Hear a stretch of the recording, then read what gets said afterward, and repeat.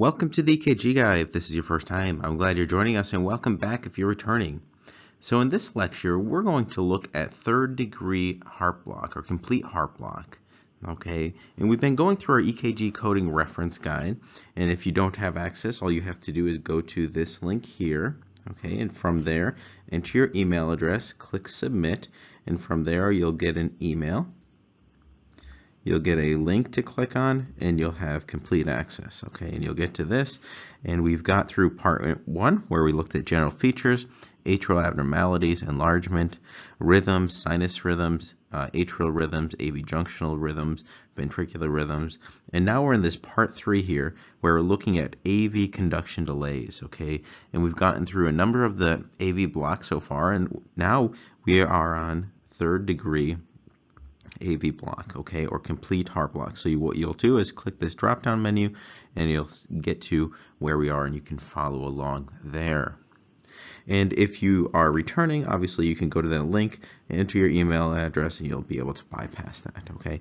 Now, those that uh, want access to more resources, our books, and separate videos that go to with our course, go to www.ekg.md, and you'll be able to have access to the course here okay? And the course is in the books and the other videos are all there okay? There's over 500 videos that we have in our collection that are separate from the ones that we have here all right? So let's get started. So third degree AV block or complete heart block this is where you have complete absence of AV nodal conduction. In other words, there's no supraventricular impulses conducted to the ventricles.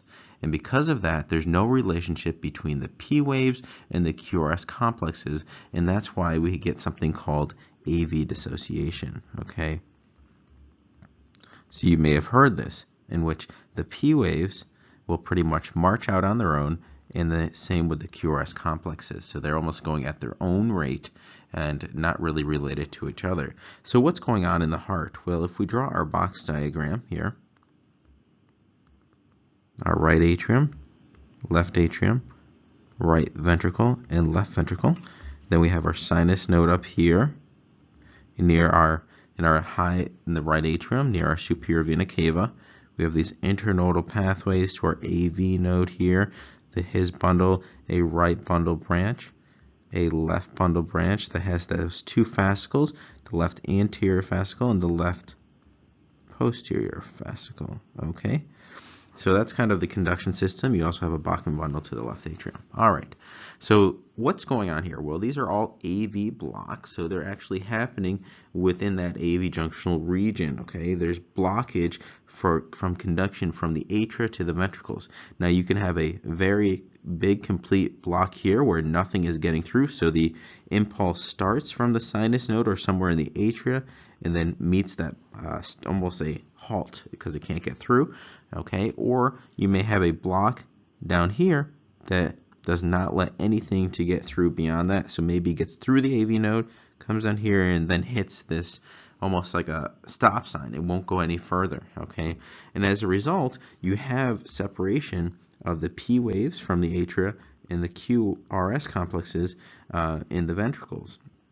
So the P waves or the atrial uh, impulse will come down, meet a halt or stop, okay, and will show that and then repeat itself. So have its own rhythm okay, thinking that it's getting through, but it's not. And because the ventricles are not getting any signal, they'll start their own impulse, okay? And maybe that starts from somewhere along here, okay, if the block's a little higher, okay, or maybe it starts somewhere in the ventricles and you have maybe a ventricular escape rhythm that takes over all right because the ventricles need to conduct and they're using their safety net to kind of keep everything going all right, and this is what we think of third degree block. This is complete heart block, okay? And this is the end of second degree AV block Mobitz type 1 and 2. So if things progress so far, this is what you can get, all right? So obviously, this is quite important. And this is conduction failure above Mobitz type 1 or below Mobitz type 2 AV nodal blocks, okay? So what can cause this? Well, you can have an inferior or anterior MI. It can be idiopathic conduction system fibrosis. So over time, as people get older, the conduction system gets older as well and it starts to fibrose. It can be from Lyme disease. Okay, so Lyme disease tends to have an effect on that AV node. So if this AV node continues and patients are not treated for Lyme disease, it can progress to third degree or complete heart block. Okay, and obviously treatment of Lyme disease actually helps and potentially can reverse this cause and as the it starts to heal. Now medications obviously conduct that affect that AV node can cause this, so you have to be cautious. Uh, often not you know significantly this much, but some to be aware of. You have your beta blockers, you have your calcium channel blockers, digoxin, okay, things that are slowing down that AV nodal conduction in amiodarone can do so as well. Now clinically, this is a these patients are really at high risk for hemodynamic compromise. Okay, they're at risk for ventricular tachycardia, standstill, and sudden cardiac death. So they need a pacemaker. Okay, so these patients are important to be aware of, and those these patients uh, typically and almost always need a pacemaker at least a temporary pacemaker if things, for instance, in Lyme disease, as things get better. So again, let's just review what's going on here. So we said there's complete block pretty much of somewhere in the conduction system, which is not allowing the atrial impulses to pass through to the AV node, okay, to stimulate ventricular activity. So there's complete failure of that, all right? We saw the blocks. And as a result, we said that the P uh, waves will pretty much go at their own rate. And if you look down here, you may be like, well, there are no P waves, okay? Maybe this is an escape rhythm. Well, there are actually, and that's why you have to look at the other leads, okay? Even in uh, lead 2, you may be able to see these P waves, okay? But the best one is V1, all right? V1, you can certainly make out the P waves here. So notice here's a P wave, here's another one, okay? And notice that these P waves are going at their own rate. See, that one's buried in the QRS complex, and there's another one, and here's one here, okay? So those are all P waves going at their same rate. Notice that if I were to erase this, you can see that those PR intervals are not the same, okay? So you may say, oh, this P wave is associated with that, but notice that it's different than these that follow to the point that it really doesn't exist in these ones, okay? So these P waves are not related to the QRS complex. They're pretty much going at their own rate. So you have the sinus node firing, okay? So you may have a normal sinus rhythm because you have this rhythm firing, although you're not conducting through. So the P waves are contributing to the normal sinus rhythm, okay? But in fact, you have a separate rhythm coming from the ventricles, and that's this one here. So no, notice these narrow complexes that are going by themselves. Okay, notice they're narrow, so likely not coming from the ventricles, but somewhere maybe from the conduction system, as we mentioned here. And that's what we would call a junctional escape rhythm. So what you have here is a normal sinus rhythm with complete heart block or AV block, third degree AV block, with a junctional escape rhythm. Okay, so that's pretty much what's going on in this EKG. Now this stuff here is all artifact. You'll notice that. Okay, that's artifact that's noted uh, in those uh, precordial leads, not in fact ventricular fibrillation. Because notice everything down here is below, above, and below. So that's important to note.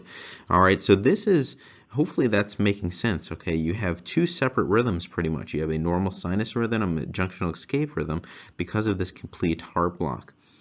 All right.